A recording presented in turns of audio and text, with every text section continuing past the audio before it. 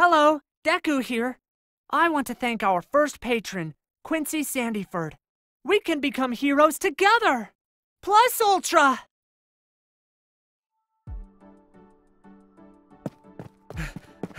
Class 1A. Class 1A.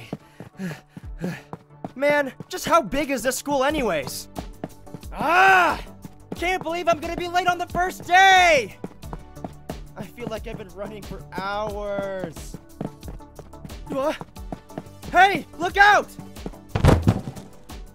Oh, my head. Just my luck. Are you alright, young man? Hmm? Uh, yeah, thanks. And, uh, sorry about that. It's alright. Just pay attention next time, okay? oh, you work here, right? Do you know where I can find Class 1A?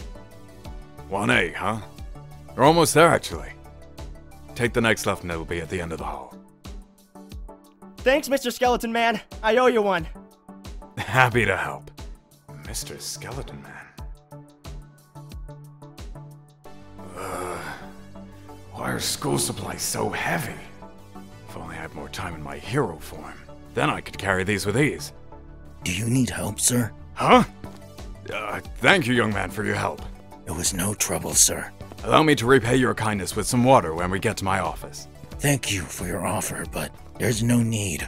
It's a hero's job to help others without seeking compensation. Ah, an admirable way of thinking. However, I must insist, even if it is just to put my mind at ease. If you insist. Thank you. No, thank you, young man. And feel free to take as much time as you need. Or I'd note for you to give to your teacher explaining the situation. Thank you again, sir. Ow! Mm, hum. Jeez. It's those guys' fault that I'm sewing my uniform back up in the first place. They should know better than to mess around with scissors in class. Someone could have been hurt. Is everything alright, young lady? Huh? Ah, you're bleeding! Ah, it's nothing, really. Here. There. All better. If it's not too much trouble. I ask what you're doing? Oh my god, this is too cute. Oh, um, my skirt got a bit torn up, so I'm sewing it back together. But I'm not all that good at it.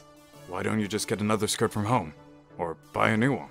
Well, it's not that bad of a tear, and I figured it'd be a waste to get rid of an otherwise perfect skirt. And it's the only one I own, and I can't afford a new one. May I see?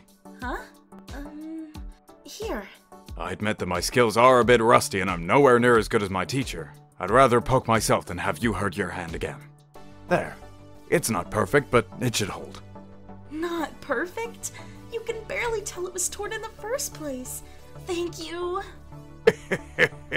I'm glad I could help. These kids have what it takes to be a great hero.